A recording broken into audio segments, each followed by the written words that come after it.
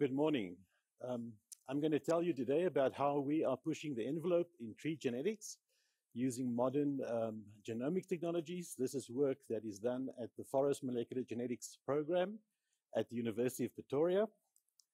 So the Forest Molecular Genetics Program is a joint venture of uh, South African forestry companies and also government funding agencies. So we have the two major uh, pulp and paper companies, Sappi and Mondi. We have um, the uh, solid wood uh, producing companies like York Timbers and Safcol, and also small grower associations like, like um, uh, NCT. Now, um, the FMG program consists of uh, over 50 young people that all share a passion for tree biology. So uh, our mission is to train tomorrow's science leaders as a, a group of four academics. And we work together to gain a fundamental understanding of tree biology. So um, this information can be used then to develop practical tree biotechnology applications, and these can range from DNA fingerprinting to molecular breeding that is employed towards enhanced growth and wood properties and resilience to uh, pests and pathogens. Now, if we think about the genetic improvement um, of long-lived plants like forest, fruit, and, and nut trees, we have to realize that most of these plants are still essentially undomesticated. This is in contrast to domesticated food crops uh, like the grains, some of which have been cultivated and selected for hundreds or thousands of generations even. So most planted tree crops are only a few generations, even, even just one generation removed from the wild. This means that they carry most of the genetic diversity of their wild relatives. And this is a huge advantage for us in, in that we can make rapid genetic progress if we select and breed the best genetic variation this is something that DNA-based technologies can assist us with. So the reality is actually that trees have more in common with humans than they have uh, with uh, out, with um, with annual crop plants, and that is because, like humans, they are also long-lived and outbred. So, as tree geneticists, we look towards uh, advances in human genetics as well as crop genetics when we design strategies for genetic improvement. So the question really at this point is, what can we do to accelerate the domestication and the genetic improvement of forest trees? Today I want to talk about four step changes that are happening in forestry genetics that can also accelerate fruit and nut tree improvement. The first of these uh, um, uh, step changes is the ability to now routinely sequence tree genomes. Until recently, that was not tractable but now we are able to do that. So this provides us with a blueprint for genetic improvement. It allows us to think differently about uh, tree breeding. Uh, as an example, I show the uh, Eucalyptus grandis. So this is uh, was the first reference genome for uh, eucalyptus trees, and I was involved as one of the the lead investigators in that process. So just to give you an idea of the size, the genome is 640 million bases. So it's sort of a medium size uh, a tree genome that is organized into 11 chromosomes. And for macadamia, that would be very similar, 750 million uh, bases that's organized into 14 chromosomes. So routine sequencing of tree genomes has become feasible due to the development of a variety of automated DNA sequencing technologies. I won't be able to go into those technical details, but this has been driven mostly by the quest to sequence the human genome for less than $1,000. So we have uh, we have really benefited from, from that uh, improvement. So the latest generation, which we are using now, um, can directly read off the sequence of the nucleotides as long DNA molecules are passed through thousands of nanopores. And this is very important because we can then use uh, powerful software and com- computing infrastructure to find the overlaps between these long DNA sequences and like uh, building a giant puzzle, we can then reassemble the full set of maternal and paternal chromosomes carried by each tree. So this is revolutionary in terms of tree breeding because it means that all of the genetic diversity that we um, that are present in a parental population can be tracked into the progeny um, in breeding trials uh, of these trees. And the good news is that the same technology is being currently being used to sequence uh, the macadamia genome. So Mary Ranketse is a PhD student uh, in my lab. So I'm hosting her PhD study. Um, and she's doing a study on uh, sequencing the macadamia genome. So there's some prior work already out of Australia uh, the Macadamia integrifolia uh, flora uh, genome was sequenced already, and also out of uh, out of China with the um, the tetraphylla genome. So Mary will be building on top of that. She will be se sequencing uh, two uh, cultivar Santa Ana and also a hybrid Beaumont. And this will be to complement the existing uh, genomic resources but also um, to be able to then apply it to determine the genomic composition of the most widely planted South African cultivars. And I think this will be a major advance for us to understand, especially because many of the varieties are in fact hybrids. So the second step uh, change really is then to be able to identify all the genes rapidly that are in tree genomes. So for the eucalyptus genome, that turned out to be in the order of 36,000 genes, and the estimates now for the macadamia genome is anywhere from 32,000 to 34,000. So these, uh, these genes provide the building blocks for the growth, development, and defense machinery uh, of the trees. And there's, there's really two uh, general approaches that we can use to identify these trees or these genes in, in trees. In, in forward genetics, we make use of the natural genetic variation that's in the tree species. So we look at populations of trees, typically tree breeding populations, and we then map those to the genome and we can find in the genome which genes might be important for each of the traits. And we've done this for a variety of traits, starting from flowering all the way through wood formation. In reverse genetics, as soon as we have the genome, we can then start looking at specific genes and make changes in those genes, and then look in reverse how that affects growth and development of the trees. So I, I just show one example here of a project like that. So if we peel the bark of a tree, um, you would be exposing the living part of the wood, and that is the cambium. And we can scrape uh, the cambium and isolate um, RNA, and then we can identify which of the 36,000 genes in the tree are turned on in this tissue. And from that, we can infer, we can get a tissue, an organ-specific profile of what is happening, what is what biology is turned on, the metabolic processes that are involved in the development um, are, are, and the physiology of that uh, tissue or organ. This can be done in fruits and nuts, in, in flower development. It can also be done, we are routinely doing it for pest and pathogen interactions with the trees, and also uh, for abiotic stresses such as drought and cold stress.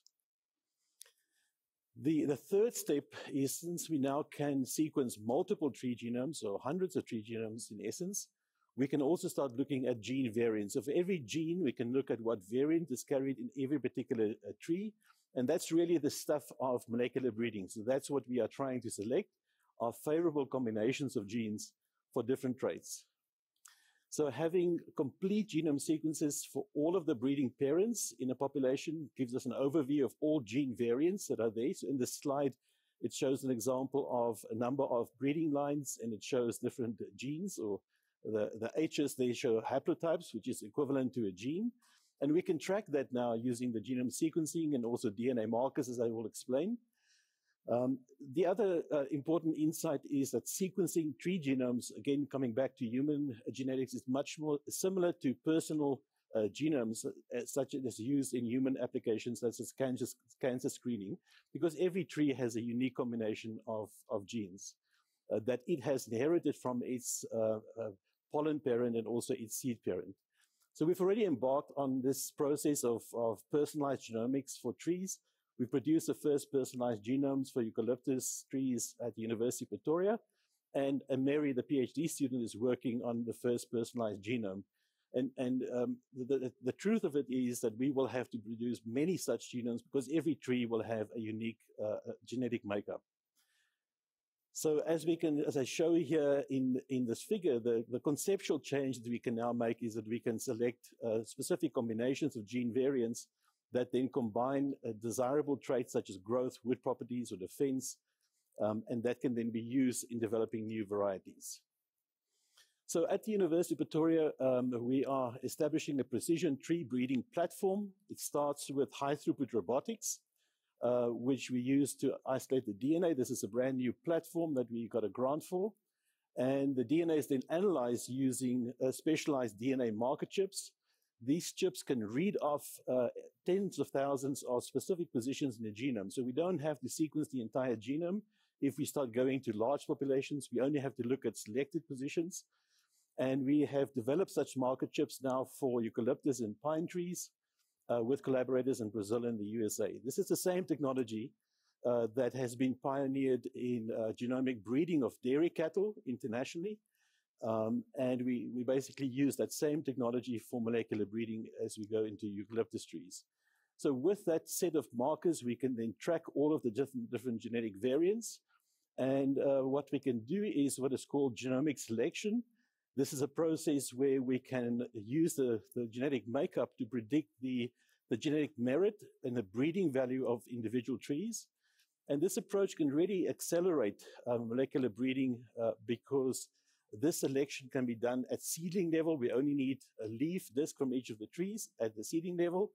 And then uh, we can predict uh, traits that normally for tree breeding, we would have had to wait many years for those traits to be expressed at the maturity of the tree. So besides uh, genome assisted breeding, there are many other practical applications for growers and for breeders. The FMG program has over the past decade offered a DNA marker service to South African forestry companies. And, and during this time, this team of trained technicians have produced DNA marker profiles for over 60,000 eucalyptus and pine trees. And this represents the majority of forest breeding germplasm in the country and now have a DNA profile. We can identify the tree. We can use this even for forensic purposes if there's uh, theft of trees. And uh, of course, it can be used for routine quality control of breeding uh, steps. So for instance, if we look at the main um, applications, we can do identification of trees. Uh, this is also important when you're working with clonal varieties to make sure that you have clonal integrity. We can do parentage analysis. We can reconstruct the pedigree of a tree if we know the candidate parents. We can uh, verify the species identification, uh, identity of the tree, and also uh, what kind of hybrid combination uh, is in that tree. And this turns out to be extremely important to the industry because um, in, in the context of how uh, tremendously expensive it would be if you were to be either crossing or propagating or deploying the wrong genotypes into the wrong environments. So I can mention with this um, platform that we have, the, the robotics platform, at 50,000 trees per year, we'd only be running at 25% of the capacity. So much of this can still be offered to other uh, tree and food crops. So finally, I, I uh, want to talk about a step change in terms of our understanding of how tree genomes interact with the environment. Uh, this is a new field called landscape genomics, in which we aim to identify genomic regions that are involved in the responses of trees to changing environments. So on the slide there, I show examples, just a linear representation of the genome, and you can see trees that, that are adapted and growing in areas with, that are more red. They, let's say red is more drought uh, tolerant, you can identify regions of the genome that might be imparting that. So this is a new multidisciplinary field that involves integration of large amounts of data from genome analysis to tree testing, field testing, phenomics, spatial analysis, drone technologies to monitor trees um, and the environment at landscape level. So the ultimate aim would be to identify genotypes that will be best adapted to these different environments. In the context of rapid climate change, this will be very important because we will, um, in the future, we will have to breed for future environments. So the take-home messages I want to leave you with are that tree breeding is firmly in the post-genomic era. We now have many tree genomes from many species, and we will soon also, within the next two years, have here in South Africa, genome sequences from macadamia um, uh, cultivars uh, this routine uh, genome sequencing that we're doing is allowing us to follow a personalized tree genomics approach. And uh, the high throughput robotic systems that we have now also allow us to go to much larger populations and to track uh, and select trees with the best genetic variation. So there are many other practical applications as well, as I said, DNA fingerprinting, parentage analysis, ancestry mapping, and genome assisted breeding. And this will really accelerate the domestication and improvement of tree genomes. So finally, I'll leave you with a question. Who will be uh, the first to implement these breeding technologies for the South African macadamia industry? To implement these technologies, you really need active breeding programs and close collaboration between breeders and molecular geneticists. And with that, I will stop and thank you. Good, I will take some questions. So the first question is, how long do you think it would take for similar service that will be available to the macadamia genome uh, or, industry? So uh, the answer for that is that the genome sequencing will be done this year and next year. So we will have a full genome sequence by then. And also for the DNA markers, uh, we can implement, we have already, Mary has already implemented a set of DNA markers that can be used for DNA fingerprinting and parentage. There's a second question about um, about SNP markers. So these SNP markers are these SNP chips, the marker chips that I described uh, during my talk. Um, to do to develop those kind of chips for macadamia, we would have to sequence many macadamia genomes because we need to understand the variation in uh, at population level. But it would certainly be possible the point is just if we if we do develop such uh, chips, we do need active breeding programs. So my challenge again to the to the um, industry is who is going to to do that active molecular active breeding and apply molecular tools. Then there's a question. Um, you see a new question that has come in about the eucalyptus breeding program. Um, when we select our preferred traits, we cross them, but there's no certainty that that cross uh, results will have the traits now switched on or uh, and or on after crossing we will still have to grow the tree out to maturity. Yes. Okay. So this is the um, the um, the caution that any plant breeder will tell you. We still will have to grow those trees to check that they will be adapted to the environment. And this is going to be especially important as environments change. The um, the importance of molecular breeding is that we can already stack the cards towards um, deploying or put or testing only the best genotypes in uh, field trials um, for breeding purposes. I think that's all the questions.